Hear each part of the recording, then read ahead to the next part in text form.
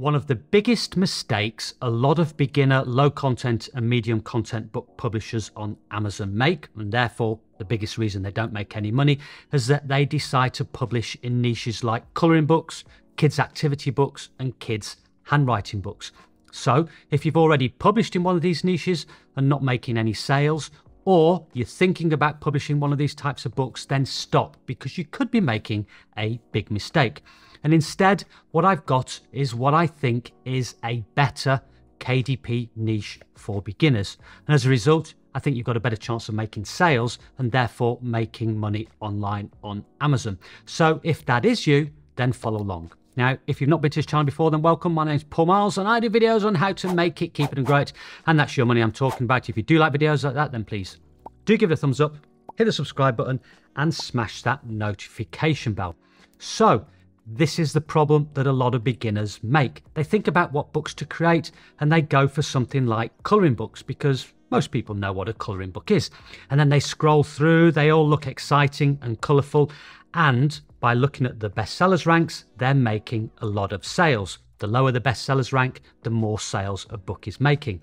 And as a result, they see that these books are making a lot of money. And they are. Take this one, for example. This one has got a bestsellers rank of 605. Now we can put that figure into a book sales calculator and we can see that it's selling between three to 6,000 books a month.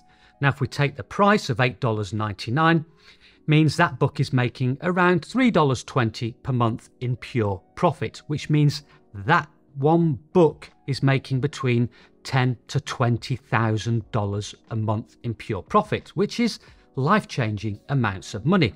So it's no wonder that people go into these sorts of niches. But there are a number of problems with this, especially if you're just starting out. The first thing is these books have a lot of competition. If we see here the adult colouring book, there's 60,000 search results. That's a lot of other publishers competing against you. So the chances of getting your book on this first page, which is where you need to be, or at least on the second page, is very slim. So customers aren't going to see your books, you're not going to make any sales. Now you may say, but I'm going to run some ads and get these sponsored ad positions here high up on the first page. Well, yes, you can do that. The only problem with that is it's probably going to cost you two, three thousand, probably considerably more dollars a month in ad spend to get your books in these positions. So that's a huge investment, especially if you are starting out and you've not yet made any sales with your books. And we can see from things like kids' activity books, 80,000 search results, huge competition, and handwriting workbooks, 9,000 results, still a lot of competition. Now, the next big issue is the design of these books. You only need to scroll down here and see how good looking these covers are. They're bright, they're colourful, they use the right fonts, they're professionally designed. Same goes for the interiors. And they need to be because there's a lot of competition and these books need to stand out to catch a customer's attention.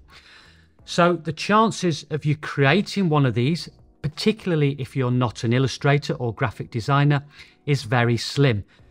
You're not going to be able to create something as attractive as these.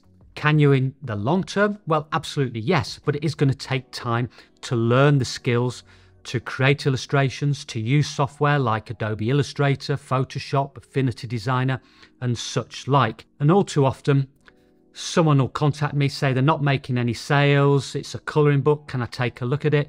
straight away, the biggest issue, almost 100% of the time, is the actual cover design.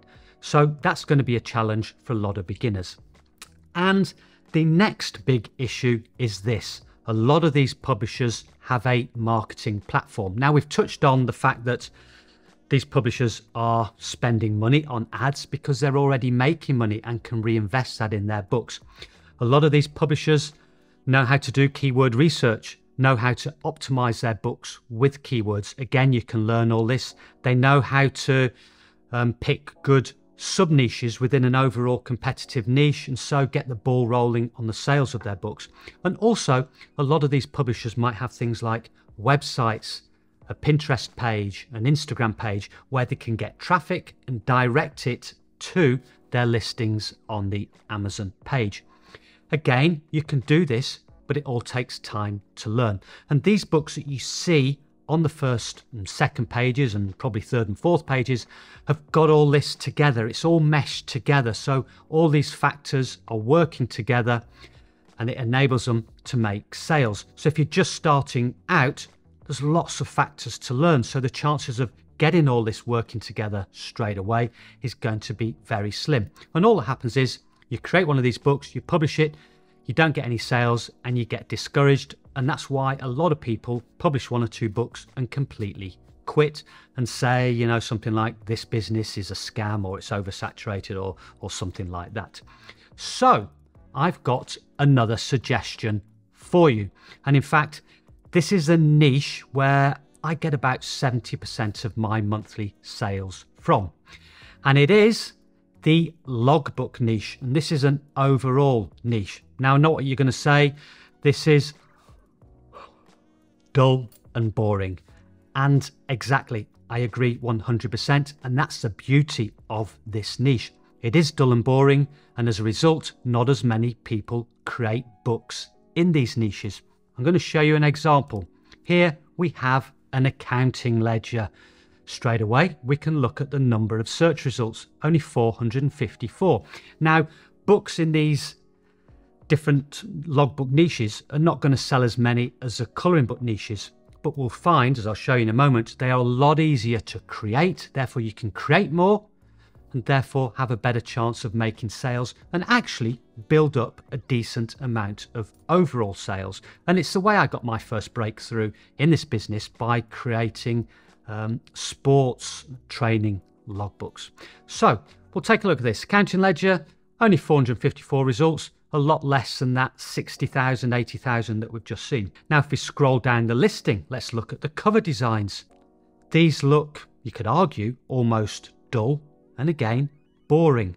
But that's good also because it means these covers are a lot easier to create and you can easily create one of these if you are a beginner to this business. Same goes for the interiors. Now I'll have a look at this book here, this brown accounting ledger, again, basic cover, but just look at the interior. It's basically a series of columns and rows and headings. A lot easier to create than one of those puzzle book interiors or one of those colouring book interiors that require a lot of skill. Now, you can find a lot of these types of interiors on a site like Creative Fabrica. I looked at Accounting Ledger Interior, 555 results. So you could easily find something here that you can use for the interiors of your books. And the beauty of these as well is that you can easily modify them, which I always recommend. So you can change the columns around, you can change the fonts, change the headings. You can even take a basic interior like this and turn it into a completely different interior, like, say, a stamp collecting logbook. And also on my Gumroad shop, if I scroll down, I've got lots of interiors and keywords here. The link is in my description. Think, yes, here it is. I've actually got a logbook template, which if we have a closer look, absolutely free of charge to download. It's just a very basic template in vector format, so you can edit it on software like Adobe Illustrator, Affinity Designer, or free software like Inkscape or Gravit Designer and you can use this as a basis to create almost any type of logbook interior. All you need to do is just as I said before, delete columns and rows and add different headings and sections and easily come up with something that looks like this. Now here I've got a list of suggestions for different types of logbook ideas. Now these are ideas I've actually collected over the last four or five years. And what I've done over those years when I've done my research on Amazon, I come across books all the time that I think, oh, that looks interesting. I Haven't thought of that. Oh, that's selling well. And I make a list of it. Um, I usually do it on Microsoft to do.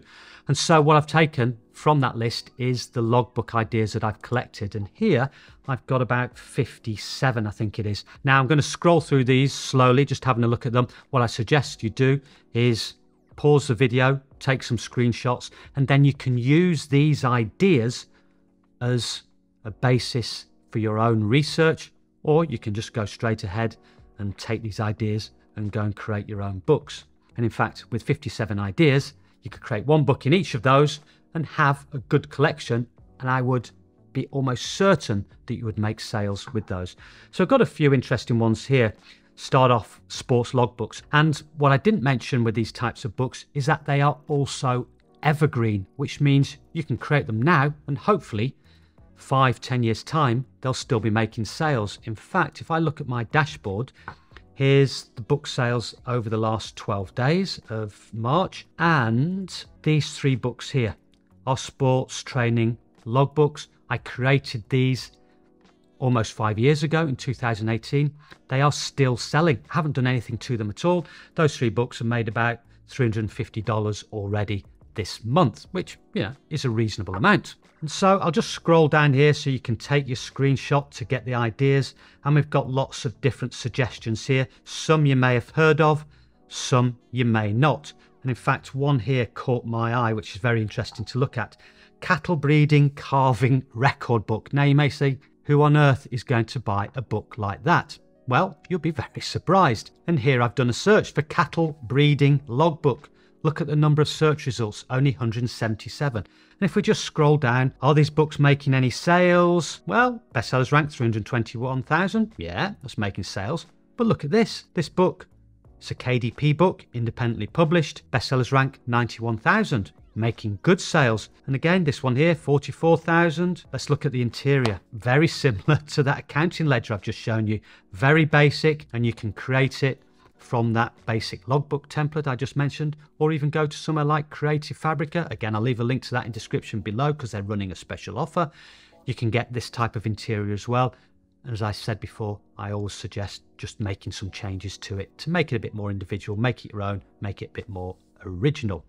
Now, with these types of books, when it comes to marketing, yes, you can run ads on them if you want to. I think with these, with the, the, the, lower amount of competition, it's not always necessary. And in fact, most of mine I've never run an ad on. But if you did, you'd find the cost would be a lot less. And there's less of a need for things like a website, Pinterest page, or Instagram page. I would advise eventually over time as you create more books, get more experienced to create those assets because you can then send traffic to all your different types of books. But it's certainly um, not as necessary in these particular niches. So you've got a lot of suggestions here to work with and start looking at. Now, if you are a complete beginner, beginner at this, and you've not yet created a book, then what I suggest first starting with before you even get to these logbooks is something like a basic lined notebook or journal. I remember when I started, I think my first don't know what it was 50 100 books even were just plain lined notebooks and journals because you get experience with creating the books that's the cover the interiors the formatting of the interiors and the upload process to amazon. So if you are a beginner and are interested in creating that type of book then i suggest watching this video next where i run through the whole process and the upload process to amazon. I hope you found that useful Thank you very much for your time. It is very much appreciated. Don't forget to hit that subscribe button. And until next time, goodbye.